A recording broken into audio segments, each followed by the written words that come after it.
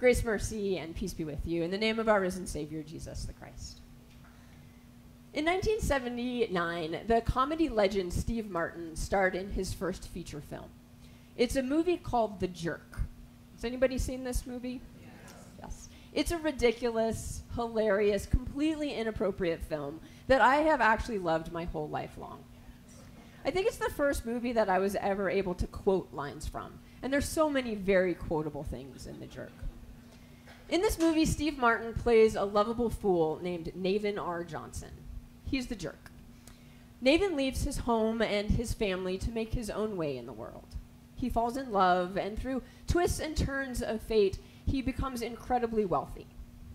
Then he becomes the subject of a class action lawsuit, and he loses everything, having to write checks for $1.09 at a time to like 9 million people. But in what's probably the most memorable scene in the film, Navin has a complete breakdown. He insists that he doesn't need anybody or anything, and he's about to storm out of his house. Until his eyes fall on an ashtray that's sitting on the corner of his desk. Desperately, he clutches at the ashtray and he says, This ashtray is the only thing that I need. And then he sees a paddleball game on the floor. And he picks that up too. And then Navin says, This ashtray and this paddle game are all that I need. And then he picks up a remote control. And the litany goes on. This ashtray, this paddleball game, and this remote control. And that's all I need. As Navin makes his way out of the house, he stops and grabs matches and a lamp and finally a chair, insisting that these random items are all that he really needs.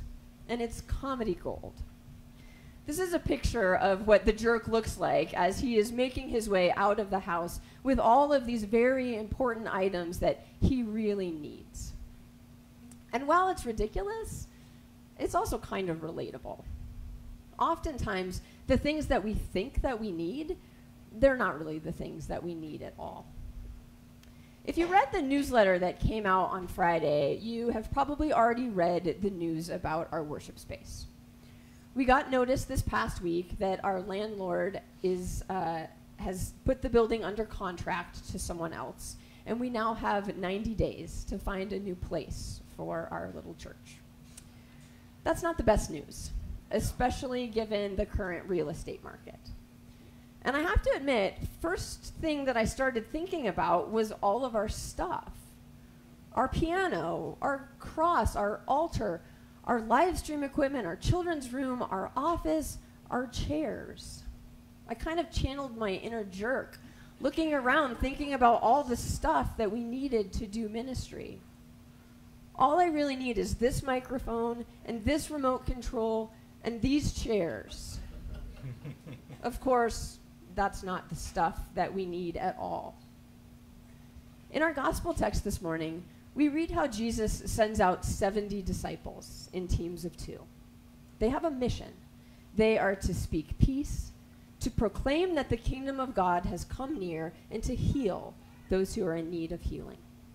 And Jesus says to them, Carry no purse, no bag, and no sandals. And he also tells them to stick together.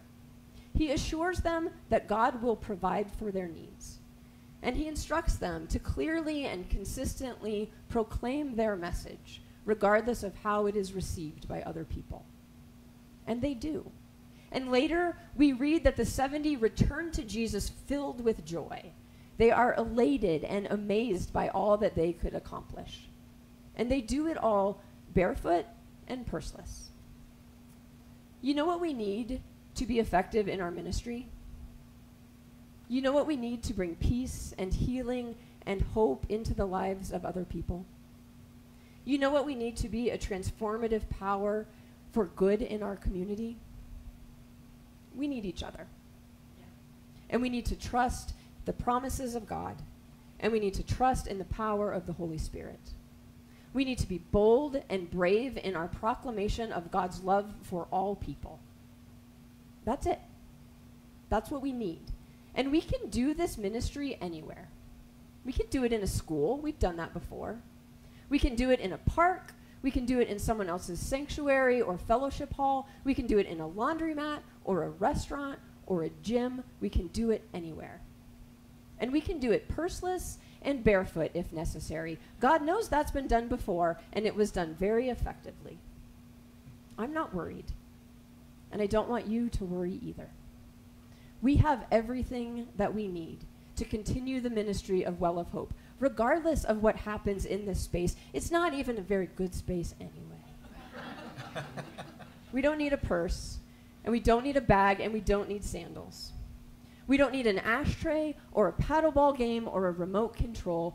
We don't even need these chairs. We need each other. We need the love of God in Christ Jesus our Lord, and we need the Holy Spirit. And that's all we need. Thanks be to God. Amen.